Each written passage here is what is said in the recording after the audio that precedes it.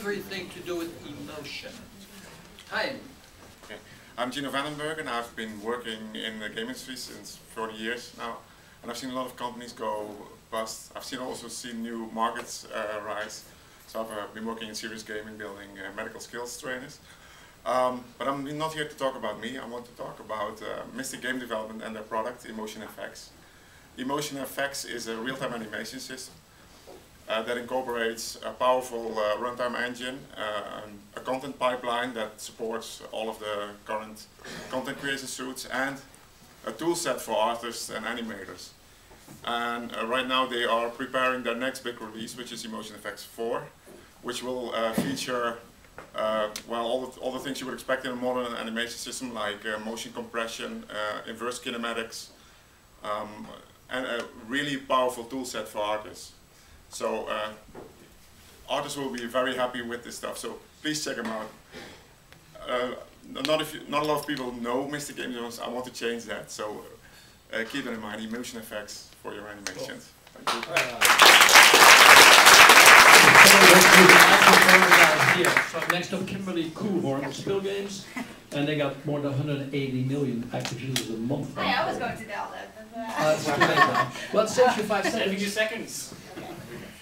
So, good morning everybody, I'm Kimberly and I'm a game marketer for Spill Games. Uh, Games has a global online platform which serve around 180 million unique users every month. So not year, month. Uh, we create our own content in our studio, but we also license content from talented third-party developers. Uh, mainly I do the content for girl games, and I'm focusing on HTML5 games, which gives user cross-platform experience because we focus on tablet, mobile, but we also want to use to play these HTML5 games on the web. For me, working with these, develop, these developers is really great because we, when you work with developers and you work with them a lot, they really get understanding of what type of games you need and they really create most fantastic games ever. I'm in the US right now to meet new, new developers, of course, and I also have a few meetings. And uh, yeah, I would love to know you, get to know you people as well, of course. Uh, if you want to know more about Spill Games or me, just come talk to me. Don't hesitate to do so. Yeah, thank you for your attention.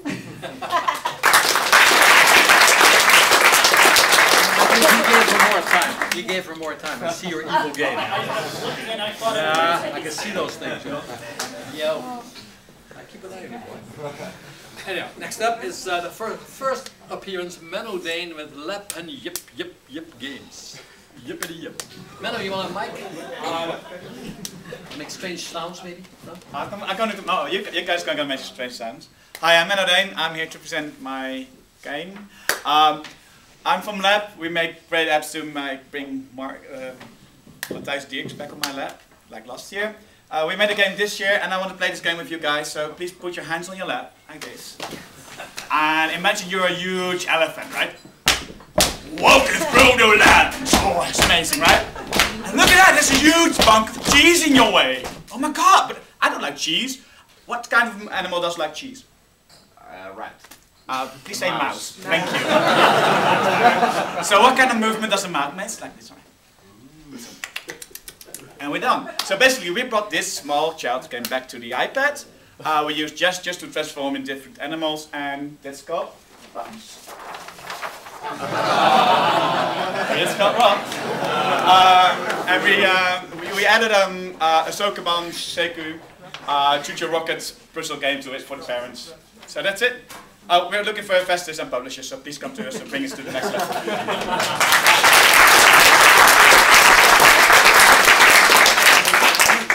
we stay in the animals. Peter Dijkstra van Vogelsap. That's the flock game. It's got suspense and you can get burned. Yes. Alright, so uh, I'm Peter Dijkstra. I'm one of the developers and the business guy at Vogelsap. We're a bunch of students. Um, and I'm going to tell you something about the Flock. So the Flock is a competitive multiplayer game uh, where you can play as one of the monsters that makes up one of the Flock.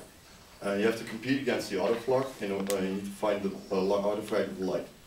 Um, and the first player who finds the artifact of light transforms into the carrier. And the carrier is a smaller, more human-like and vulnerable being. Uh, the carrier needs to hold on to the light artifact for as long as possible in order to win the game. However, he also needs to protect itself by using the light uh, against the uh, game flock who need the who also want the light artifact. Um, the flock are vulnerable to the light, but their key is to survival stand completely still, otherwise they will die.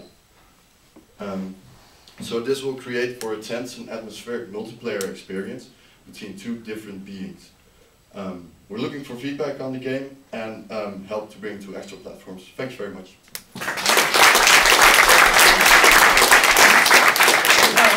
Niels het Hoofd en David Nieborg, niet namens hun respectievelijke firma's. Een duo-presentatie, denk ik, aan tapdansen, zingen, een beetje op de toetoes. Uh, if they're there, of course. Uh, that's pretty amazing. Jeez, slackers. Actually, they are representing NRC Handelsblad. Those people mostly are, you know, bad wakey wakey guys. So their magazine or a, a daily paper, right? They want you to come to them. They said. So please do tell them I'm very, very, very aggravated by this, and I'm going to bed now. Okay. No, I'm a professional. I move on. So that means more time for somebody else, right? So we got over here right now. Ah, an old timer of Newzoo, Peter de Warman. There he is, ladies and gentlemen. The booklet is there already, somewhere, somehow. Hi Peter, Go my name's, oh yeah sure. My name is Peter Warman, I head up a company called Newzoo. And five years ago I arrived here for the first time at GDC. And we wanted to be a market research and analytics company. And now we are a market research and analytics company. We wanted to work with EA.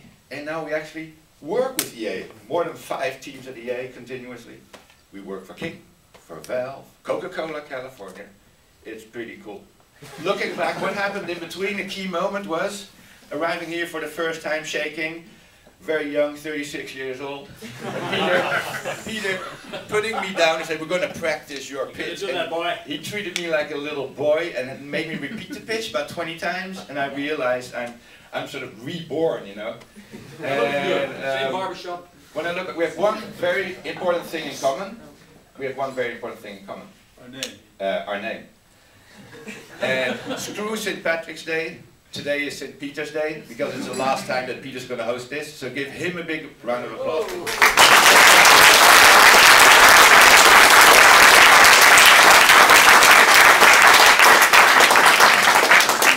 Well, maybe they hire me next year, you never know. It'll be more expensive.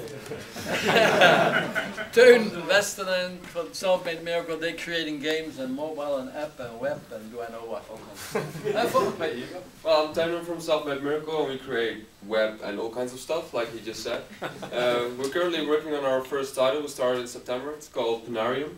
And Panarium is about this little boy. He's not very sure of himself, and he goes to the circus for the very first time in his life. He's really excited, but he gets in the wrong line. So he's not in the audience, he's a contestant in the circus. And it's not an ordinary circus, it's a death trap circus. So he gets shot by uh, lasers and rockets and fire and water, and it's, it's really sad. And he has to run for his life. And that's what you as a player do. You run for your life, you run for your life, you run for your life. And you have to get collectibles. And the more collectibles you get, the better you are. So it's a high score game. And you just have to survive. And it's crazy. It's this crazy circus, and you just die and die and die in the most gruesome ways. And there's blood and more blood and more blood. But, well, that's kind of the premise. So we're looking for people who want to play the game. And, well, that's, that's it.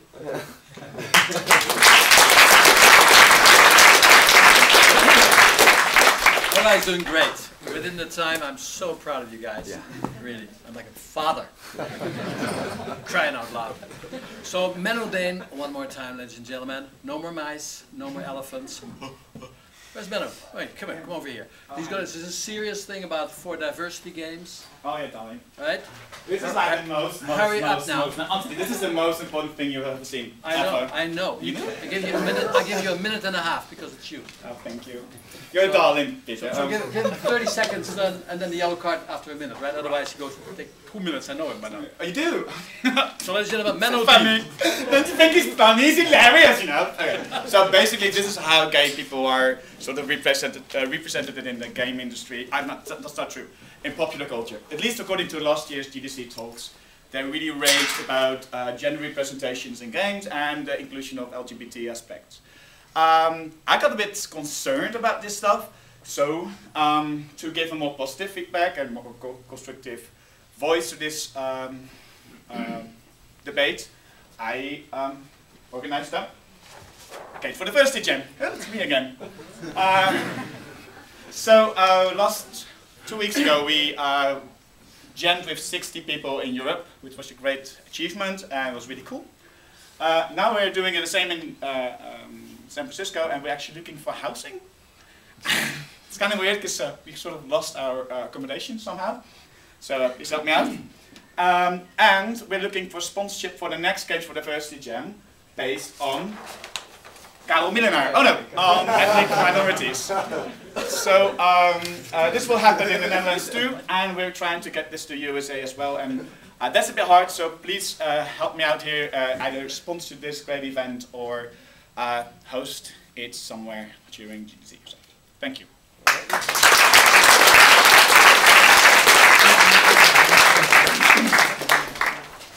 Is a great cause, and uh, maybe if there are volunteers in the consulate for this coming weekend, you'll never know, Menno. Maybe they want to, you know, give their weekend to you and to your organization. So this is the official end of this beautiful timing. And if there's questions or if you want coffee, we just brewed new coffee that was only decaf.